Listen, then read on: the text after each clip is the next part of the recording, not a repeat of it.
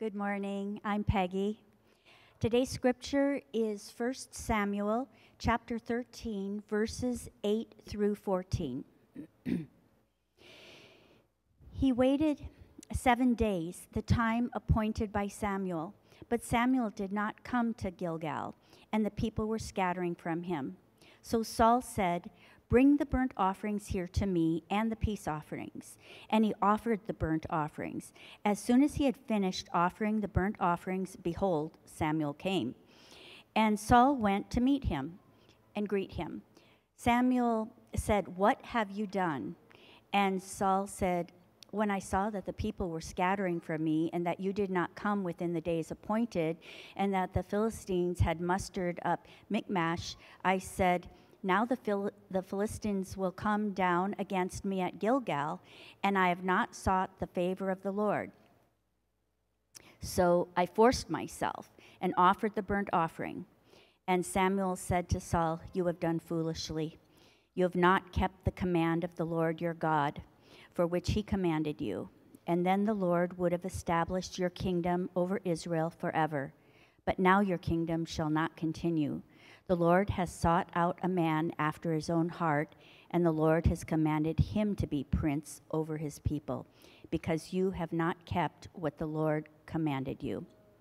This is the word of our Lord. You can sit down.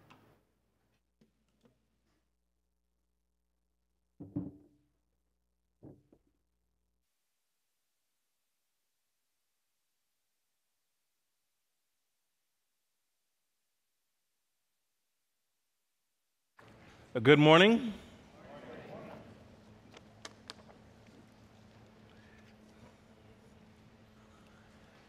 Every Sunday, when I stand before you, I always let you know, and I hope you don't get tired of me saying this, but James chapter 3, verses 1 says to me and every other person that occupies this space in a service behind a pulpit that we will be judged more harshly and more strictly when I pray and I write and I think and I pray and I hope and I study, that I deliver the Word of God appropriately, whether it's challenging to you or uncomfortable for you. I make sure that verse is in the back of my mind because God says what I'm going to do here in the next 25 to 30 minutes, I will be judged more strictly for.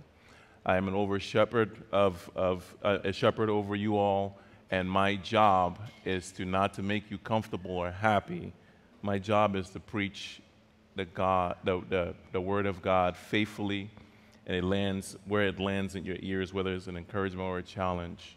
Uh, so I will always continue to go with that. I want you to know that we are in such a wonderful congregation of people. Um, I just want to point that out yesterday uh, morning, I came expecting we were supposed to come and help clean this, the school, help paint and do different things. I was expecting, I had really low expectations to be honest with you. I was expecting maybe five or 10 people to show up to help us do this. We had 45 people take, yeah, take their Saturday morning to come in, WD 40 these chairs, paint railings, uh, paint classrooms, get to know teachers, scrape paint off of the windows. My scraping team, where y'all at? scraping paint off of windows, let me tell you something. Our hands are tender this morning. And I want to say thank you. Um, that's part of serving our city, part of serving the community part of serving this school that we don't just meet at, but we partner with in so many different ways. Um, I'm grateful for you all. And many of you are serving in other ways, whether you're RC leaders, volunteering in kids' ministries. Whenever we, we sound the bell and we ask for people to volunteer, you show up. So God bless you and thank you very much. Would you pray with me? Thank you, Lord, Heavenly Father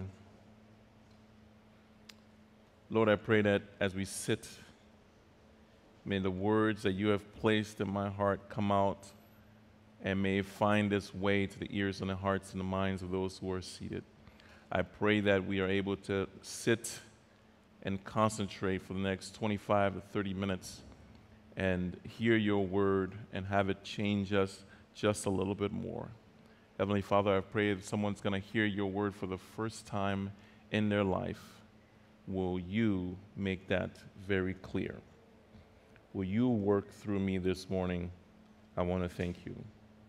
We honor you and we praise you in Jesus' name. Amen. For the past few weeks, we've been in a, in a, in a series. Sorry, ushers, I forgot. If you need a Bible um, in Spanish or English, the ushers have them. So you just raise your hand, we'll be glad to get you a Bible. That is a gift from us to you so you can follow along in the service. So if you need one physical Bible, just raise your hand. Carissa will be glad to give you one. Um, thank you, Carissa, for doing that. Appreciate you, ushers. The past uh, five weeks or so, maybe three weeks or so, we have been looking at the life of King Saul. We've also been looking at the, the historical portion where the people of Israel are needing and wanting a king that is physical, that is a human being. And as the story has unraveled, I hope you're able to follow along and keep up with what is actually going on. The, the Old Testament of the Bible was written in the Hebrew language. I mean, eh, with the exception of, with the exception of Ezra and a portion of Daniel, which is in Aramaic, Hebrew is the predominant language of the Old Testament. And Hebrew is a more poetic language. It, the way the writers wrote the Old Testament was so that when you read it, when we read it, or anyone who read it, would help us not only understand what's happening, but the culture within which that story is occurring, right? The Hebrew language, like I said, is incredibly poetic. It shows up in ways that we least expect it. It, it actually helps us as we read to discover not to go from point to point to point like we do in Western stories. Western stories are kind of linear and they go kind of, you go from one point to another. If you read the Old Testament, some of it is chronological, but a lot of it you have to unravel. The stories tend to be circular. Um, if you read Genesis 1 and 2, you will see that very clearly how the authors are unraveling it. They're trying to get you not facts, but kind of the why and, and, and kind of how you can see the character of God to discover what is happening as opposed to kind of a general, general chronological story. The Hebrew writers in, in the book of 1 Samuel is inviting us into a discovery, right?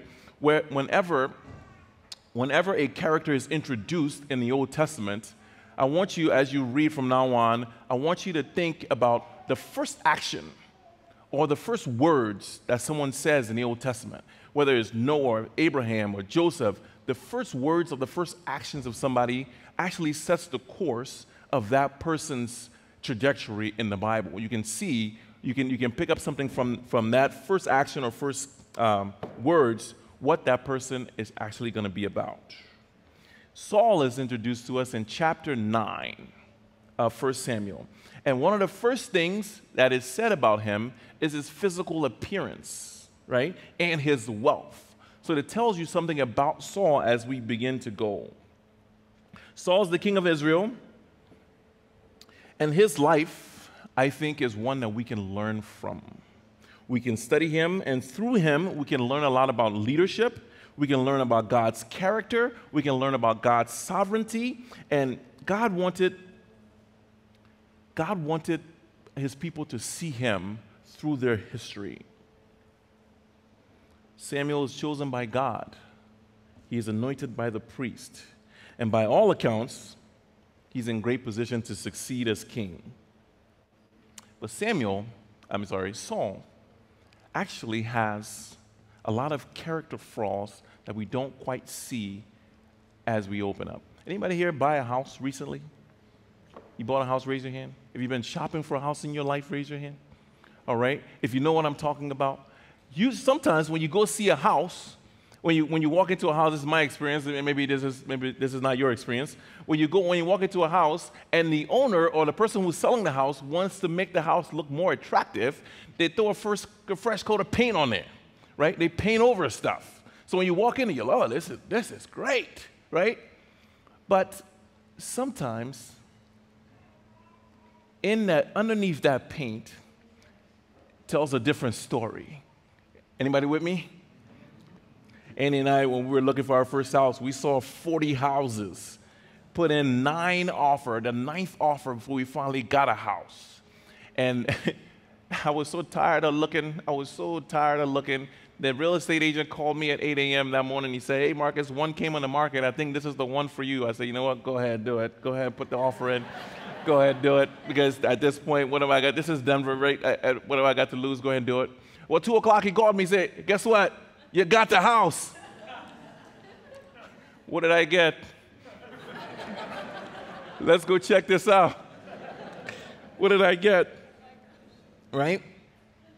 We got a house. That night, I wanted to surprise Annie, so I got to the house. A few weeks later, I got to the house. I'm looking at it, and it it's not pretty. You know, so I, it's a jetted tub in the bathroom, old jetted tub. So I said, let me fill this thing and let me clean this thing out, you know, so my wife can come in and see that I've done some work. I started filling up that tub, and all of a sudden it was quiet in the house. I started to hear a drip. I started to hear more of a drip. I started to hear a, a flow, and it sounded like a river. Oh, Lord. I went down in the basement. Sure enough, that water was leaking right through, right through the light fixtures. But we kept that house. we wasn't going back out there. What I'm trying to tell you is that this morning I would like to be your real estate agent and walk alongside of you so you can see the cracks that is behind the fresh coat of paint that is Saul's life. I'm trying to get you to see the electrical work, in a sense, that is done poorly. I'm trying to get you to see the foundation that has cracks in it. I'm trying to get you to see the land that is built on, that he was built on, that is on a floodplain perhaps. I'm trying to get you to see the cracks that are clearly present in Saul. And there are three things you can see in Saul's life his impatience, his pride, and it's a big college word, his narcissism. Next week, we'll look at um, verse 15, verse chapter 15, which talks about obedience to God is better than a sacrifice. Pick me up in verse, uh, verse 8. This is Saul getting ready for battle, and he's waiting on the priest to come and bless the, the troops and send them off into battle. It says Saul, referring uh, he referring to Saul, he waited seven days, the time appointed by Samuel. But Samuel did not come to Gilgal, and the people were scattering from him. So Saul said, Bring the burnt offering here to me and the peace offerings. And he offered the burnt offering. As soon as he had finished offering the burnt offering, behold, Samuel came. And Saul went out to meet him and greet him. Samuel said, What have you done? Saul's about to go into battle here. The people are gathered, soldiers, people, are, they're, they're, ready for, they're ready to do what they usually do before a great battle, right? They're waiting for instructions from the Lord. They're waiting for the priest to bless them. But Saul have, has been commanded by, he has been commanded by Samuel not to go into battle because this is what God has told the priest. Do not let my people go into battle without offering a sacrifice to me. Don't do it. Saul's impatient and said, We're going to go ahead and do it. Here's why this is significant. If you look back in the book of Leviticus, the burnt offering is the first and the one of the most significant offerings that the people of God could, could offer to God. The purpose of the burnt offering was to make an atonement for the sin, for the sin offerer, thus helping, helping them gain God's acceptance. The burnt offering was thus so much to gain, it was not so much to gain forgiveness for a particular sin, but to make up, to have an atonement for the offerer's sinfulness. In a corporate setting, the priest would be the one to carry out the burnt offering for an atonement of sins. So, by ignoring the priest, by ignoring God, by being impatient and carrying out the suffering, carrying out the offering, Saul has placed himself, I don't want you to miss this, in the seat of being a priest. Saul is not a priest. God has not appointed him to be a priest. He's terribly unsure, he's impatient, he's really wanting to get things done. There's so much fear and a lack of trust in God's plan and, and God's way of doing things that Saul says, let's go ahead and do it. God, you see, God had always been with the people of Israel. He had always carried them through, right? They're going into battle, and God says, This is how you do it. And Saul says, No, I can't wait because you guys are going to leave me. The Philistines are going to attack us. I need to do something. Saul couldn't wait for the Lord to fight his battles. Anybody in here been there? You can't wait for God to move on your behalf. I believe in dialogical preaching, so if you're quiet here this morning, I need you to speak up. You couldn't, you couldn't, you couldn't in your life wait for God to fight your battle. You look to take your matters into your own hands. You attempted sometimes, I'm, this is, I'm preaching to myself here, you attempted to advance God's plan before it was time. You know the regret that comes with that. One preacher says this he says, The only thing harder than waiting on God is wishing that you had.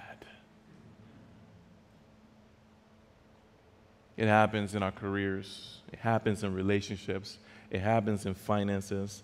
It happens. It has happened to me. We want a high speed internet God. When God more like, I don't know what was before high speed. When I was in high school, you used to get that terrible noise. God is even slower than that when He's moving, but He's right on time. Amen? We want a microwave kind of God. We want a genie kind of God. But God really is, uh, is a crockpot kind of God, right? He doesn't work that way. He doesn't work on our timing. In the waiting, in our waiting for God, and I know some of you in here are waiting on God right now. In our waiting for God, God is doing something that we, can, we cannot understand. He's forming us his formation. He's building our character. He's fixing those cracks in, in, in, the land. He's fixing those cracks in the building, in your foundations, right? He's taking the long view, said, if you're going to live in this body, if you're going to live on this earth for this years, you need X, Y, and Z. God works slow. He works poetically. He's unraveling and he's unraveling your character so that it gets he works very deliberately. Let me say this this is obvious, but sometimes we need to be reminded none of us in here and nobody in here can get up out of their seat right now and say, No, I'm done. I'm going to tomorrow. I'm just going to leave y'all here and today. I'm going to go to tomorrow. We all can, no one can go to tomorrow. We all move in the same time. You understand?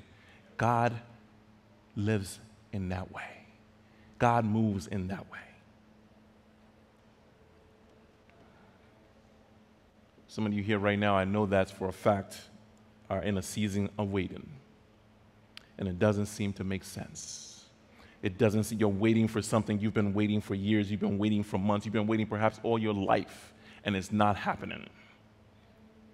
You're in a crock pot, like I said, and man, that crock pot is getting hot. You think you're ready.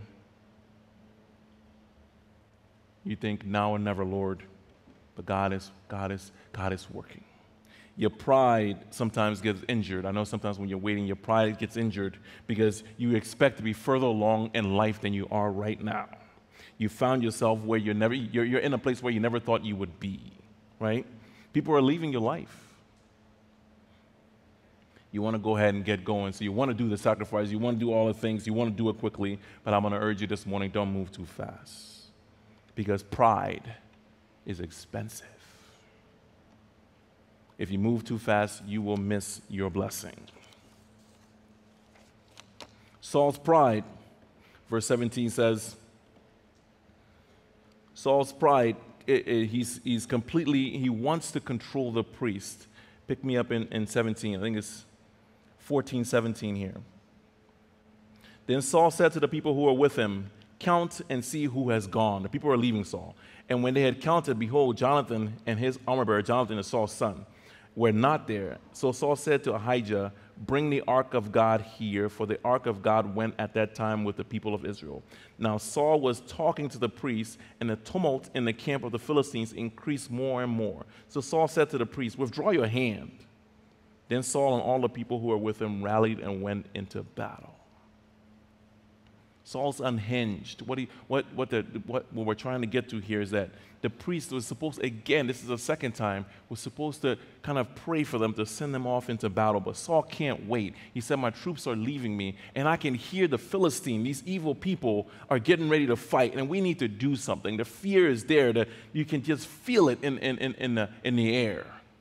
We're going to get killed if we don't move, and I can't wait for a priest to come and bless us for us to go. So go ahead and remove your hand. I'm going to keep going. Saul's saying, I know you're supposed to do this, God, but I can't wait for you. In the streets, when I was in high school, we used to hang out in the streets of um, suburban Washington, D.C. I remember when things got short and, and we couldn't wait for something to happen. We wanted to make something happen. We used to say this phrase, ain't nobody got time for that. Saul is telling the, the priest for that. The priest is trying to pray. He's saying, hey, priest, ain't nobody got time for that. The battle's coming. I need to get going. But he's missing his blessing. He's missing his blessing. Pride, pride costs us God's best, folks. Pride costs us God's best. The difficult thing about pride in our lives is that it is intoxicating. It blinds us. It's difficult for us to see our own pride. It always, almost always takes someone else to point out that, hey, this is, a, this is an issue in your life that you need to look at, right? Someone has to confront us about it. Someone has to make it plain for us to see what we cannot see. You and I have pride. We want people to see us differently than we really are. The root sin, C.S. Lewis would argue, the root sin is that pride kind of is, is the root of all our sin. It comes out of everywhere. We make choices that sometimes just delay God's blessing. I want to shout out, uh, not shout out, but one of the best books I've ever read in my, in my Christian formation. I used to read it every year. It's a book called Mere Christianity. You might know that book. In chapter 8 of that book, C.S. Lewis talks about pride, right? And he says this about pride. He says, There is one vice to which no man in the world is free, which everyone in the world loathes when he sees it in someone else, and which hardly any people except Christians ever imagine that they are guilty of themselves. I do not think I have ever heard anyone who was not a Christian accuse himself of this vice. And at the same time, I have very seldom met anyone who was not a Christian who showed the slightest mercy to it in others. I'll skip down a few. The vice uh, C.S. Lewis is talking about is pride. The Bible mentions pride so many times. It's almost as if we need to pick it up. God is saying, God opposes pride. All those verses you see Psalm 138, Proverbs 3, Proverbs 29, Matthew 22, Luke, Luke 1, James 4, Peter 5, 1 Peter 5 all give the same refrain God opposes the proud and gives grace to the humble. Pride, pride is going to cost Saul the kingdom. Pride is expensive. In verse 14, God looks at God exposes, the writer exposes uh, Saul's insecurity. I'll just, I'll just sum this up real quick. In verse 14, uh, in chapter 14, verse 24, Saul is leading the troops into battle, and at some point they get to a point where they're, gonna, they're actually going to go fighting. But Saul says to them, he says, No one should eat until we get to this battle. He's, he's, forcing, he's forcing his troops to go without food. Right? He's, he's hoping that, he, he's thinking that the world revolves around me. They're not, they're not fasting. He didn't say we should fast for the battle. He said, and, and he says, no one should eat because I want to avenge my enemies. The battle is not about, in Saul's mind, it's not about God's people, it's not about God, it's not about the nation, it's about Saul. It's personal for him. And he's holding people hostage, his troops hostage, and saying, no one should eat. He's laying an oath as well. Saul's determined. He's determined to win this battle. He's telling his troops, You guys cannot eat. We're going to starve. That seems very counterintuitive. There's some people who are going into battle. Saul is completely out of his element, he's completely over his head.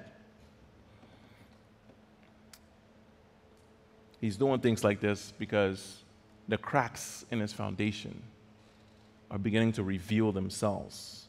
He's what I love this phrase that Americans use. They say, We're gonna fake it till you make it. Right? He's faking it till he makes it. He didn't hear from the Lord. God didn't tell him to starve his people. God didn't tell him to go on a fast. The priest didn't tell him. He's kind of on his own. He's making it up as he goes. He is completely blind. Saul is trying desperately to occupy a place and an office that he is not anointed to be in, he's not assigned to, he's not blessed with, nothing. He's trying. There's, there's something about people who appear to be Christians but don't live like it. The gentleman who founded Redemption has a famous quote, and I love this quote. He said, One time he was, he, was, he was in a place, he was sitting with a guy, he was talking to a guy, and he asked the man a question. He said, Hey, are you a Christian? Normal question. The guy said, Yes, I'm a Christian, but not in the biblical sense. Saul is, he's almost like he's pretending to do godly things, but he really isn't connected to God. How can somebody be a Christian and not in the biblical sense? Saul is digging, is digging and digging. He's confused, he's afraid, he's impulsive. His character is completely unraveling. I'm starting to sweat here, Lord, but you know, when I was in Liberia and they asked me to speak, when I was speaking at this church in Liberia, oh my gosh, I started sweating. Everybody knew I wasn't from there, but I am from there. I hope you're starting to see the cracks in the foundations of Saul. He's getting exposed and he's under pressure because Saul is not formed. He just has a fresh coat of paint. And under pressure, he's falling apart. The Philistines are near. Here's, here's, I, I want you to sometimes, because like I said two weeks ago, the Bible, the Old Testament gives us rounded characters. We see there's no clear villain or no clear, very few people are like clear heroes or clear villains. So, uh, Saul here is in, in, in, a place that we can all see, we can all identify with at some points. He's not quite just completely a villain because we all have insecurities. We all get impatient with the Lord. We all do certain things. Here, here's what Saul's into the Philistines are big, bad people. And the Philistines Uh, if you miss this if you read this, you'll get this point. The Philistines were one of the first people to learn how to use metal in combat. So, one of the first people to kind of wield their own swords and things like that, they had learned that from the Hittites. And they were teaching the Israelites to do just that. But once the war started, they said, We're not teaching you guys how to do this. So, only Saul and Jonathan have weapons.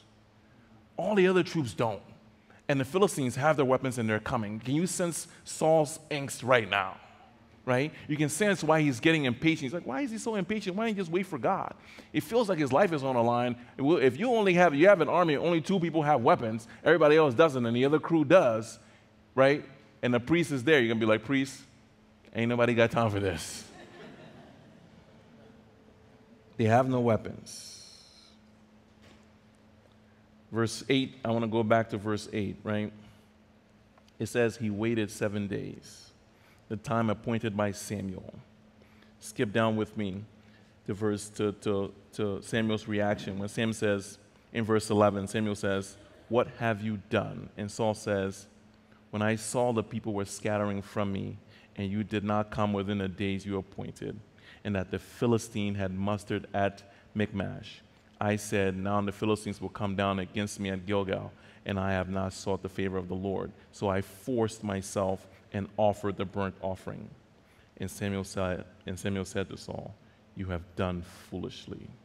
You have not kept the command of the Lord your God, which is, which is why he command, which is what he commanded you. For then the Lord would have established your kingdom over Israel forever. But now your kingdom shall not continue the Lord has sought a man after his own heart, and the Lord has commanded him to be prince over his people. Because you have not kept what the Lord commanded you. My question, and I hope this is the basis of where we're going this afternoon or this morning, is why does God deal so harshly with Saul? Why does Samuel the priest tell Saul, Your kingdom will not continue? It seems as though, at least when you read it from a Western perspective, the punishment does not fit the crime. This guy offered a sacrifice, and all of a sudden he's losing his kingdom. The guy burns the sacrifice and he loses his entire kingdom. It seems to me, and as the cursory reading, it may seem to you that God is harsh. God is unjust here, it seems. God is not fair. That's what it seems like. God removes Saul, ladies and gentlemen, because he's fearful, because he's narcissistic, he's impatient, he's prideful, he's insecure, and is impulsive. All of those things point to not trusting God for anything in his life and wanting to take God's place above the people. The sacrifice he just offered is only, like I said, is just he just offered is only should be only offered by the priest. The priest that is appointed by God should be the only one to offer the sacrifice. Saul is being rejected by God. Saul, in a sense, is rejecting God's authority over God's people. I want to lead your people my way.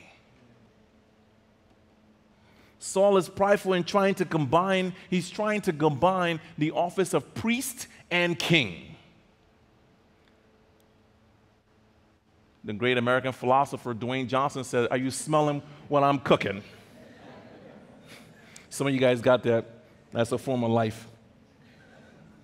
Right? He's trying to combine the office of priest and king.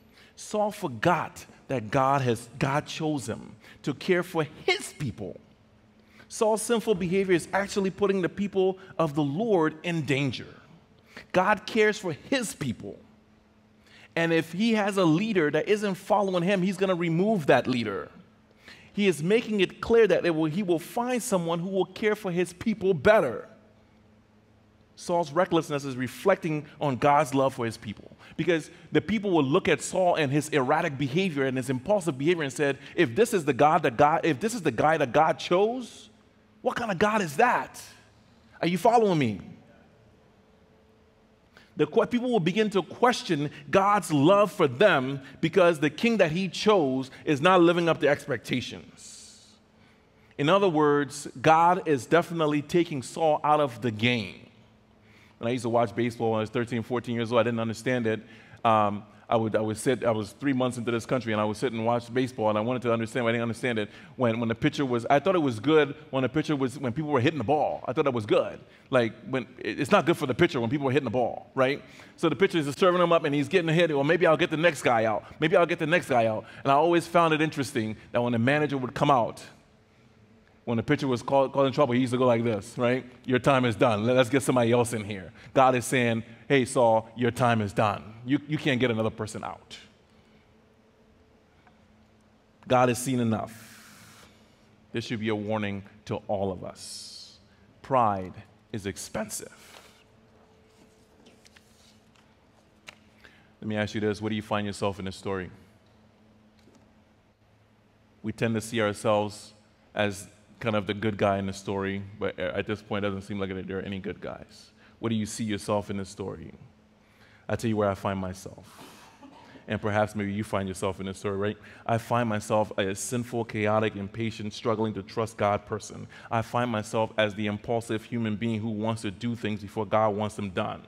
I find myself in a position where actions and my actions and attitude sometimes obscures how others see God. Amen. It seems sometimes that my actions make other people question God. If you're honest with yourself, sometimes you see that. A few weeks ago, actually two weeks ago, we have these redemption t shirts that say, All of life is all for Jesus, right? You've seen those t shirts around, you can get them. Uh, I'm not advertising t shirts, but actually, you should get them. Um, all of life is all for Jesus. So I put one of those t shirts on and I'm traveling. I'm getting on a plane. I'm, I'm going on, on, a little bit of a vacation. So I, I, get on I get on the plane. I, I'm in the I'm in the airport. And let me just tell you something. If you're gonna wear that T-shirt, don't forget you're wearing it. if you're gonna wear all of life is all for Jesus T-shirt, don't forget you're wearing it. I'm in the TSA line. I need, I need to say more. I'm in the TSA line. We're going, and I'm getting, I'm getting sort of impatient because the guy eh, is moving slow, and I'm a little bit late, and I got to catch my flight. My family's already there. I need to get there, and he's moving so slow, and I'm like, Lord, I started to get some kind of way. I'm starting to get some kind of way. He's talking to his family, and I'm thinking, ain't nobody got time for this. I'm, I, I got to get somewhere, right? And I get to the front of the line. What he says? Nice T-shirt. Shots fired. I'm getting on the plane, same thing, right? Uh, you know, you know that little, I don't know what they call it. I, I like to call it like a heat pack. Those, that ramp that you walk on to get onto the plane, right? In, in Phoenix, in the middle of the day, it's hot in, it's hot in there. You're just standing in there. You're, you're like, might, they might as well season me right now, put some butter on me because I'm barbecue, right? and I, am I'm, I'm impatient. I want to get on this plane. And we, we get on the plane. I'm sweating. I'm going to say something. And people are moving so slow. And sure enough, the flight attendant looks at me and said, Hey, I've been to that church. That's a nice shirt. Lucky I didn't run my mouth and say something, right? It would have revealed the cracks in my heart. While we aren't always wearing those t shirts, but the fact is, we are. God sees the t shirt of our heart. You see it, right? Samuel, 1 Samuel 16 7 says, Man looks at the outward appearances, but God looks at the heart.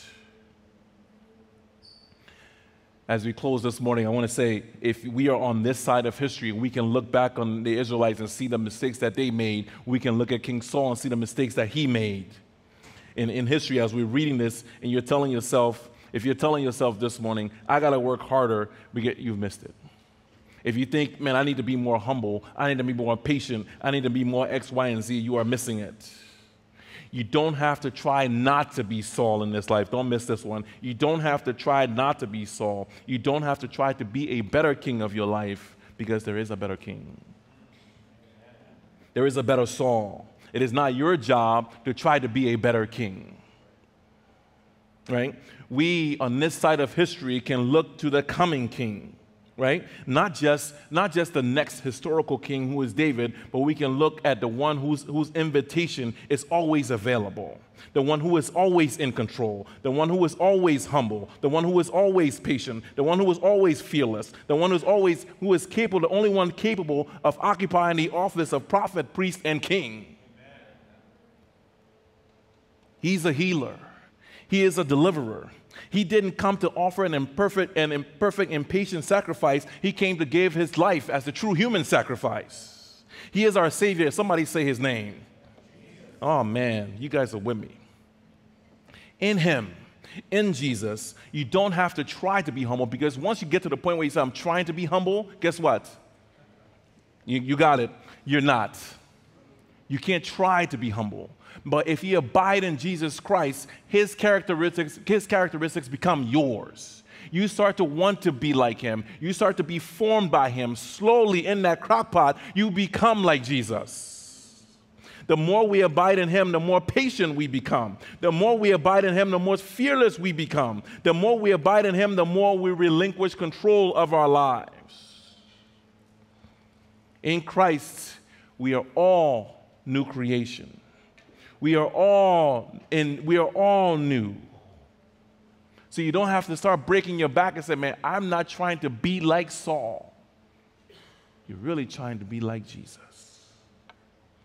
The kingdom is his and his alone.